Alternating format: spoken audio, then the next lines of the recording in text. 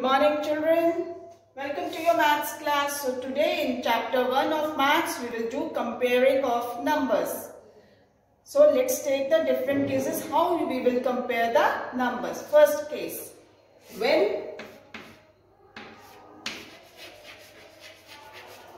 the number of digits when the number of digits is different. Let's take example 182 and 43. Let's see the place values of these numbers. 3 is at 1's place and 4 it as 4 is at 10's place. Similarly here at 1's place we have 2, 8 at 10's place and 1 at 100's place. So 182 is a 3 digit number and 42, 43 is 2 digit number. We see 182 is 3 digit number and 43 is 2 digit number. And 3 digit number is always greater than a 2 digit number. So 182 is always greater than 43.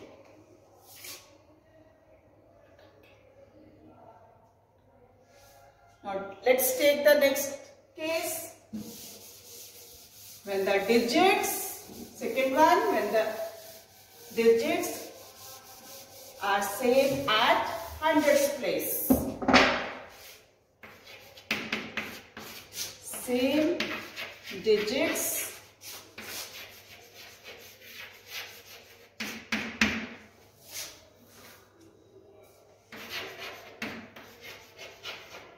in the hundreds place.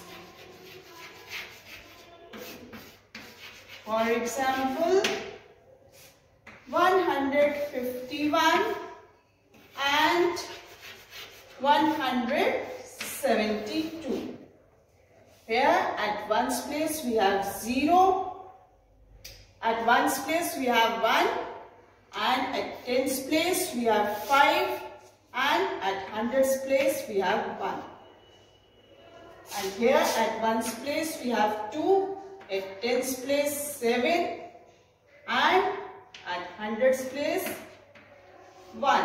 What we see in both the cases we have 1 at hundreds place that is hundreds place same digits at hundreds place. Now we will move on to tens place. Here at tens place we have 5 and here at tens place we have 7. So 7 is always greater than 5. Therefore 151 is less than 172.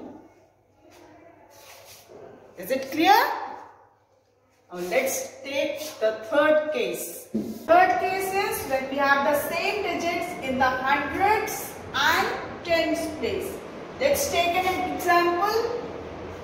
191 and 195. Ones place we have 1, at tens place 9 and at hundreds place 1. And in this at ones place we have 5, at tens place 9 and at hundreds place 1.